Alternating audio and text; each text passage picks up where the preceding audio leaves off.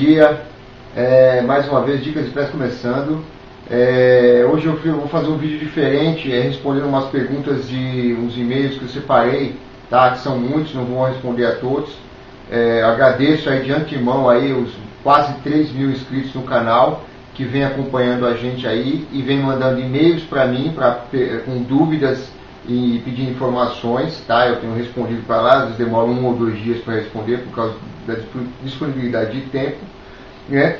E eu separei alguns, tá? Se você quiser mandar perguntas para mim, pode mandar pro, na descrição do vídeo, tá lá é, o meu e-mail pessoal, tem o meu e-mail do Gmail que é do canal realmente, e você pode também deixar nos comentários diretamente no vídeo que você assiste. Ou, se você quiser, também pode deixar no Facebook, na minha página no Facebook, que é o Dicas e Peças, tá? Então, vou responder algumas aqui que eu achei interessante e eu separei, já até imprimi aqui para poder ler para vocês, tá? É, a primeira é da Paula Janaína, de São Vicente, é, São Paulo. Olá, rival. Quero parabenizar pelo trabalho, levando informação a pescadores iniciantes como eu. Gostaria de saber qual a, a melhor lua para pesca qual a melhor maré e qual tipo de material para pesca no mangue, pois estou iniciando a pesca do robalo. Bom, como ela disse que é aqui de São Vicente, é, a melhor maré que eu acho, né? Ela está querendo fazer pesca no mangue. É, a melhor maré que eu gosto de pescar aqui no mangue de São Vicente é a na lua crescente e na lua minguante, tá? Maré de quarto são as melhores marés para pescar, tá? É, o tipo de material para pescar no mangue, bom, você pode usar é, carretilha, uma carretilha 6.5, é, de velocidade 6.5, uma Kainan, pode ser uma Kainan, pode ser uma Marine Sport, sei lá. É, a vara, é, se você for usar para camarão e jumping jig, usar uma vara de ação rápida. Se for no barco, seis, seis pés está bom demais para você. Se você tiver que comprar uma vara, começa com uma de seis pés. Se for para lançar é, camarões e, e, e jumping jigs, o ideal é que ela seja de ação rápida, porque você tem o toque do fundo, você consegue ter a maior sensibilidade do, do, do, do camarão e do fundo e também da pancada do peixe. Já para você usar é, com plugs, né? Iscas eu indico a stick, as sticks e tem também as de meia água também são muito boas para isso, né? Você pode colocar é, uma, uma vara também de 6 pés, muito boa para lançar e ação média, ela faz o trabalho perfeito. A linha que você pode usar é de 15 a 20 libras, não precisa passar mais que isso, que vai te dar uma boa sensibilidade. Você pode exagerar um pouquinho é, no, no teu líder de fluocarbono. Põe um de 40 libras que vai ficar bem legal. Fica bem didático, fica bem, bem sensível, tá? Então, e obrigado aí por, por, por assistir o canal e por se inscrever, tá? Próxima é Paloma Ramos, é, São Vicente, São Paulo. Gosto muito dos seus vídeos, são muito bons. Gostaria de saber qual o material correto para a pesca do robalo. É, Paloma, eu vou te responder o que eu respondi para Paula é, o material correto é esse. Se você não tem uma, é, é por exemplo, você pode pegar é, uma vara de seis pés para pescar no mangue ou pescar até no costão, tá ótimo. É uma vara de uma ação mais rápida para você usar com camarão e os, os jumping jigs, para você ter melhor sensibilidade, tá? E, a, e o trabalho ficar bem melhor. Você não se cansa tanto também. A linha de 15 a 20 libras, não precisa mais que isso né? O máximo, se for postão, você bota uma de 30, mas não acho que não tem tanta necessidade. O líder eu prefiro usar o de 40, tá? E o jump, e os gigs você vai é, o, o, gig você vai trocando. Aqui a variação é de 7 para 14, máximo 21, tá? Eu já usei. Já no costão até 30 é bom, o ideal jogar porque a maré corre um pouco mais. É, se você for usar um molinete, use um molinete pequeno, tá? Um molinete, um molinete ultralight e hoje em dia já tem varas no mercado que você pode usar para fazer a pesca do, do, do, do, com isca artificial. Tá? Então não tem problema nenhum. O material correto é esse. Você tem que ter plus, o ideal é ter um stick, uma meia água, que vai fazer um trabalho bem legal. E, e, e até as cores que eu te indico é a branca, a verde fluorescente E também as laranjas são ótimas, as, laranjas também. Também pode pintar o jig nessas cores que eu estou falando, verde, limão. É, você pode usar é, um gig amarelo também e o laranja. São três cores fatais para aqui para aqui no mangue. No costão o vermelho também serve. Tá? Então acho que fica aí respondida a sua pergunta, Paloma. E obrigado por assistir o canal. Próximo é José Carlos José Carlos, ele é de Santos, São Paulo, é aqui próximo. Qual a melhor isca para roubá-lo? Natural ou artificial? Olha, o seu José, ah, não tem melhor isca, cara. Eu acho que o melhor é o trabalho. Eu prefiro usar é, a isca artificial. Por quê? A natural, você tem que ir é, em marinas comprar, entendeu? E outra coisa, às vezes não tem. Então se você sai, por exemplo, de barco ou, sai atrás de um camarão vivo, às vezes não tem ou ele é caro. Entendeu? Eu prefiro usar o camarão artificial. Já usei o natural também, né? O isca viva, né? Como fala. Mas já aconteceu muito de bater mais baiacu e bagre na minha, na minha linha do que com a, com a isca artificial. A isca artificial eu selecionei as pescadas e peguei os robalos também muito bem. Já inclusive peguei até é aqui dentro do mangue é, espada com camarão artificial. É, tá bom?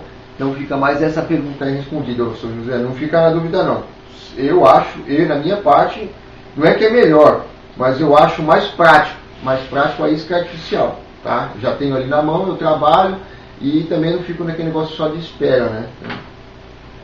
Próximo é o Pedro Afonso de São Vicente, São Paulo. São Vicente está forte hoje.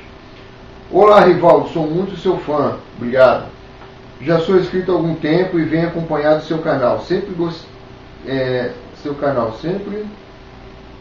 Ah, sempre acompanhado o canal sempre. Gostaria de saber se você pode me indicar canais de pesca se não houver problemas para eu assistir. Por exemplo, que te motivaram a fazer vídeos. É. Um abraço. Espero que não fique chateado com a pergunta. Abraço. Não, de maneira nenhuma vou ficar chateado, Pedro, porque essa, essa aqui é uma excelente pergunta, porque pessoal geralmente pergunta assim, ah, pô, o que te incentivou, coisa e tal. Eu falei, olha, eu, eu comecei, quando comecei a pescar, eu assistia muito canal grande, tipo pesca alternativa, pesca dinâmica e programa pura pesca, entre outros, né? O que eu mais gosto de assistir, porque o pessoal que acompanha meu canal vai perceber que eu vejo mais esses canais grandes assim de pesca, né? E os canais menores, pô, que a gente troca muita ideia, eu não sem, sem problema nenhum de falar qual, qual não, não influencia em nada, tá? É, são muito gente fina, pessoal. Tem, tem o Pesca Vídeos com Rafael Fava, moleque muito gente fina. Tem o Pescas e Dicas com Marcelo Belinsky, também outro cara 100%. 100%. O pessoal do Fishing Stories, o André Nagai, o Renato Banzai, show de bola também. 10 o canal dos caras. Quem mais, gente? Vai, me ajuda aí. Tem tanto canal. Ó, tem o Royal Pesca, que é o do meu amigo Fábio, também outro cara, gente finíssima. Mais um, Anderson Nagayama. Posta muita coisa interessante lá, gente. Se vocês quiserem, por aqui vocês podem ir lá ver. E outra, se você segue meu canal, na minha playlist, todos esses pessoal que eu falei, eu clico em gostei. Então, quer dizer, você vai saber quem eu acompanho. Então, pode ir lá, cara. Olha, são pessoal 100%. A internet quando é usada de uma forma é, é, instrutiva, vale a pena você é, é divulgar o, é, o, trabalho de todo mundo, entendeu? Então eu gosto muito de divulgar para esse pessoal aí, tá? É, então, fica aí, acho que fica respondendo. Não, não, não, fico chateado não. Eu até agradeço você de perguntar, porque assim eu agradeço também ao pessoal que quem eu venho assistindo e também eles me contribuem é, não só com o meu canal, mas entre a gente. A gente acaba formando até um grupo, a gente se conversa, troca ideia. É, não existe aquele negócio de plágio, por exemplo. Se eu bolo uma ideia para mim aqui e funciona, ele vai testar lá. Se funcionar lá, ele vai divulgar no canal dele. Ele tem o pessoal dele também que assiste, assim como o meu também, o meu pessoal fiel. São quase 3 mil, graças a Deus esse ano. Cresceu bastante o número de inscritos no meu canal né? Tanto é que tenho bastante e-mails aqui para responder e não tenho nem tempo para fazer isso, mas eu vou responder, gente. Pode deixar que eu vou responder, tá? Então acho que, Pedro, fica sossegado, cara. Eu espero que esses canais que eu te passei aí são os que eu acompanho, é, do pessoal que eu gosto de assistir mesmo, que eles passam ideias, é, assim como eu gosto de passar ideias que a gente testa. A gente testa e aprova. Então, na nossa região, o que eu falo para você funciona. Às vezes a minha realidade não funciona lá. Então ele vai lá, testa, não funciona para ele. Então ele não divulga. Claro, não vai dar certo para ele, não vai dar certo para ninguém. Entendeu? Então, às vezes, às vezes ele tem uma ideia, às vezes eu vejo aqui, às vezes funciona, eu divulgo. Mas eu divulgo e falo de quem foi a ideia. Eu sempre faço assim. Tá? Então, fica respondendo sua pergunta aí. E um abraço a todo mundo do canal que eu, que eu falei aí. E desculpa se eu não falei mais gente aí, porque é muito, é, o, o tempo é curto, tá? Vamos pro próximo aqui. Cícero Almeida, de Santos, São Paulo. Olá, amigo. Estou tendo problemas com minhas iscas de silicone. Tenho várias marcas na minha caixa de pesca e notei que algumas estão deformando. O que devo fazer? Como posso deixá-las sempre conservadas e brilhantes? Agradeço a atenção e parabéns pelo canal. Obrigado, Cícero. É... Olha, cara, já de cara já não tem um problema. Você não pode pegar as suas iscas de silicone e colocar todas juntas no mesmo, na, na mesma caixa. Tá? O ideal é que você separe cada marca que você usar, entendeu? É, não é muito bom você ficar juntando marca, cada uma tem uma composição diferente e uma vai acabar é, em contato com a outra, vai acabar deformando a outra e você vai acabar perdendo suas iscas que não são baratas, tá? É, então a minha primeira dica é que você separe as suas iscas e outra, comece a usar, desculpa, comece a usar é, iscas é, de uma marca só, entendeu? É, tenta achar aquela marca que você tem mais produtividade e usar, que no meu caso eu uso aqui a Monster. Gosto muito da Monster aqui para usar. Então eu, eu, deixo a minha caixa sempre separada só com ela, entendeu? A segunda pergunta que você fez é como deixar elas conservadas. É, eu já postei um vídeo sobre isso daí e eu estou reformulando alguns vídeos que eu tenho no canal, tá? É, é, é, a conservação da dela é o seguinte, eu uso, você pode comprar qualquer marca, tá? Tanto com cheiro como sem cheiro. Você vai numa loja automotiva, você compra silicone spray. É, e borrifa, você faz assim, você pega ela, você acabou de vir do salgado, ou mesmo da, se você usar shed em água doce, lava em água corrente, deixa secar, ou você seca com uma toalha, tá? E o que, que você faz? Secou, mesmo ela estando com o jig, né? No caso, se o jig é, for de, de um material que enferruja, é o ideal que você tire, lubrifique ele separado, tá? E deixe ele secar separado da isca. Se ele for de inox, aquele que não enferruja, não tem problema, então tranquilo, você lava, dá uma apertada para sair a água de dentro do anzol, é o que eu faço. Pega esse spray líquido, ou desculpa, pode ser o líquido, né? E pode ser o spray. Tá? Até o, aquele em pasta, gelzinho, também serve. Você compra na loja de é, autopeças, aí, lojas de, de, de, carros aí que vende muito isso aí. E borrifa em cima. Tá? Borrifou em cima, se você quiser você seca até o excesso, eu não seco. Pode estar com cheiro ou sem cheiro. Igual na minha caixa de pesca.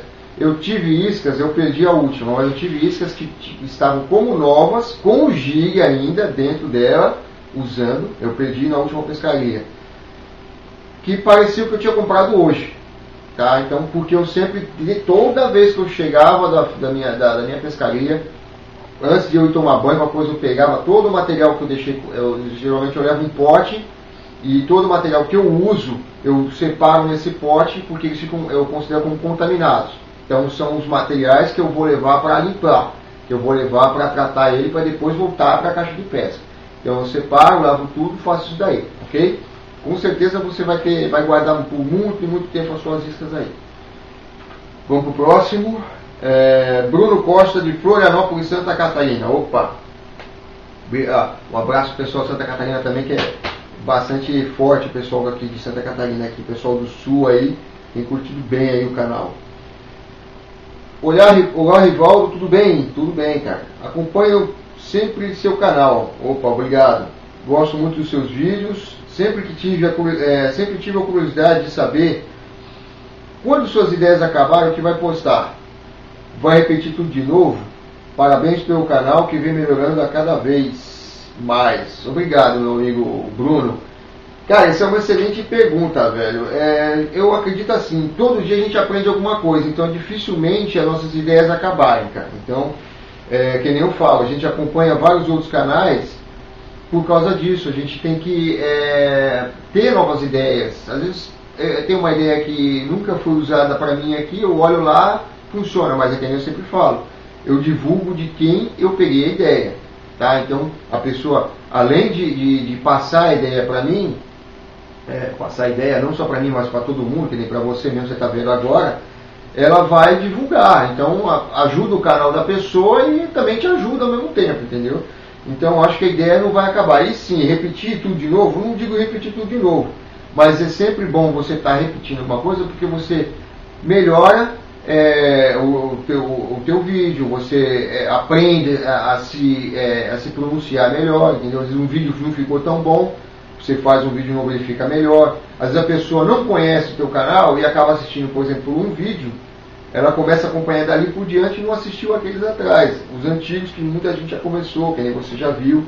Então eu acho uma ideia de repetir, não é repetir uma coisa ruim, porque a repetição, da, da, até na nossa vida, a repetição leva a gente à perfeição. Tudo que a gente faz e refaz, mas faz bem feito, é a melhor opção para a gente na nossa vida, tá? Então, obrigado aí pela pergunta, uma excelente pergunta, e fica até para os meus amigos aí do, dos canais aí, ficarem atentos aí a, a, essa questão aí, tá? A minha resposta por essa eu quero ver de vocês depois. Vamos para a última aqui, é, Paulo César de Guarujá, São Paulo. Amigo, tudo bem? Gostaria de saber se posso usar o molinete para a prática da pesca esportiva. posso usar isca artificial com ele? Qual tipo de linha devo usar? Bom, outra excelente pergunta que eu separei Paulo César. Aí, obrigado, Paulo César, pela pergunta. Sim, cara, você pode usar sim o molinete. Hoje em dia tem várias e molinetes próprios para pescar com isca artificial, porque eles estão sendo feitos em materiais que eles são mais leves. Então, é, por exemplo, a pessoa não se dá bem com a carretilha e, e como ela já tem uma noção de trabalhar com o molinete, ela vai trabalhar com molinete tranquilamente, cara. A única diferença é, do molinete, por exemplo, é que a carretilha, como ela, ela solta a linha, ela reta e você recolhe, ela vem reta, né, ela não vem fazendo aquele espiral, você não precisa usar o girador, né, ou o distorcedor de linha, como o pessoal gosta de chamar. Você é obrigado a usar em certas iscas, porque senão toda vez que você for recolher, a isca dá um, dá um giro lá, ou então ela, a, a linha começa a torcer, tá? Então você vai ter que se atentar que em algumas iscas você vai ter que colocar o girador. Não são todas, mas algumas você vai ter que colocar. Tá? É...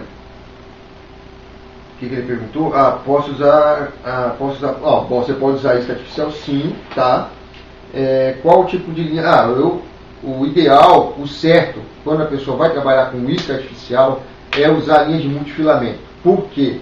A linha de multifilamento ela vai te dar melhor sensibilidade tanto na isca quando o, peixe bater na isca, tá? Tanto na linha, é, na tua mão, você vai sentindo na tua mão o toque do peixe ou o toque do fundo da, da do rio, do, da praia, no, no fundo do, do, mar, entendeu? Então o ideal é que você use a linha de multifilamento. Por quê? A linha de multifilamento, além dela te dar maior sensibilidade, ela te dá maior segurança na fisgada, tá? A linha de, é, de monofilamento, ela acontece de esticar. Então, você está trabalhando a tua isca, às vezes você vê no toque, ela não trabalha tão bem porque ela está esticando. Então, a, a, a, isca não faz o trabalho perfeito e esses peixes não pegam. às vezes você acha que é, a, é, é, o problema de você não usar o molinete não é. Tá? E, e, mais um detalhe. A bitola que você pode usar aí, bom, no Guarujá, eu não sei quais é os pontos, mas você pode usar de 20 libras 20 a 30 libras eu acho que não vai te dar nenhum problema com o líder de. É bom. O líder você pode colocar até maior porque não tem o problema da, do guia fio. Então se você for fazer uma pesca de currico, é, em pedrais aí, você pode colocar um líder até bem maior, mais de 2 metros, tranquilamente, que você não vai ter nenhum problema. Um líder de 40 tá bom, de bom tamanho, tá? E outra coisa, é, para todo mundo que eu respondi aí e perguntou sobre materiais, procura é, quando vocês forem comprar material de pesca, é, procurem, é, é, como é que eu posso dizer, nos valores de médio a alto, nunca de médio a baixo, porque se você comprar material de médio a baixo, você só vai ter problema, tá, cara? Então, foram essas as perguntas de hoje. Agradecido a todo mundo que me é, faz perguntas pelo meu e-mail, pedindo informações, tá? É, eu espero ter ajudado esse pessoal, porque a pergunta de vocês pode ser, não, servir só, não só para você, mas para muitos outros aí, fizeram perguntas aí. E se der certo aí, quem sabe nas próximas vezes eu começo a colocar aí mais perguntas aí do pessoal, para responder mais perguntas aqui do pessoal no ar, tá? Me desculpa se eu não respondi a todas que tem aqui no meu e-mail, que todo dia de manhã eu sempre dou uma olhadinha. Eu sempre estou respondendo o pessoal aqui no e-mail, no meu canal, no Gmail, no Facebook. Então, é, o que dá a gente coloca, tá? Então, o pessoal que está assistindo agora, eu quero que se inscreva no meu canal aí, tá? Curta a nossa página no Facebook, dá uma olhadinha no nosso blog, tá? Que é o Rivaldo Ribas, o Blogspot. É... E deixo o meu abraço para vocês aí. Tchau, tchau.